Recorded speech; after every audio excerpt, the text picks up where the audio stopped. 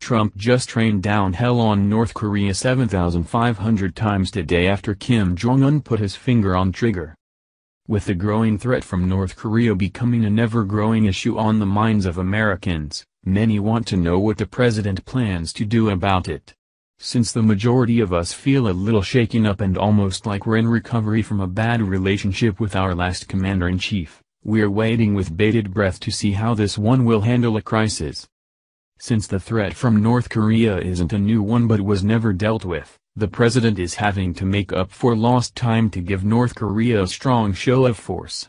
Even though it's not very appealing to the liberal agenda, the United States military is poised and ready to strike, should North Korea's dictator decide to follow through on his many threats. The tiny dictatorship was given a lot to fear when President Trump made these comments. According to Zero Hedge, the POTUS isn't waiting for the storm to come to him, he's beginning it himself with the 7,500 Marines he sent to watch North Korea's front door. Just one week after uttering his now infamous this is the calm before the storm statement to the press ahead of a dinner with military leaders, we now learn that President Trump has dispatched a second nuclear aircraft carrier, the USS Theodore Roosevelt, filled with 7,500 Marines, to the Korean peninsula. Of course, this comes after rumors swirled earlier this week that North Korea is preparing to fire multiple short-range rockets around the opening of the Chinese Communist Party's twice-a-decade Congress on October 18. No matter how petted, pampered, or dictatorial Kim Jong-un is, he couldn't possibly have thought that there would be no retaliation to his bold threats against the United States. As a nation, We've got a pretty great reputation for winning the fights we get involved in. After all, being one of the world's superpowers with the greatest fighting force on the planet comes with not only bragging rights but the ability to follow through.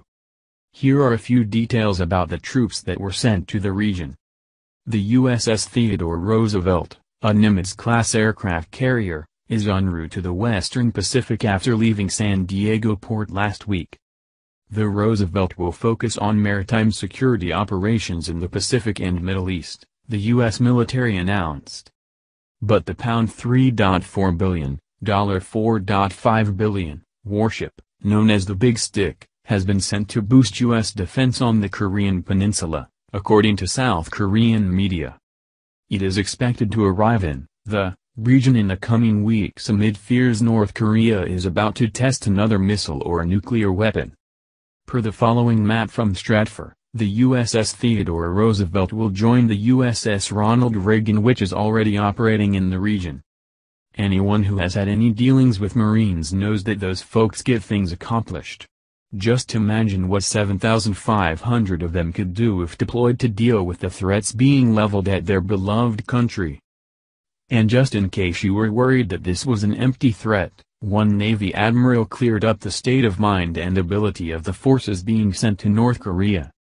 According to a statement from Admiral Steve Koehler, a strike group commander on the ship, the Roosevelt is carrying some 7,500 sailors and Marines that are ready as a war-fighting force.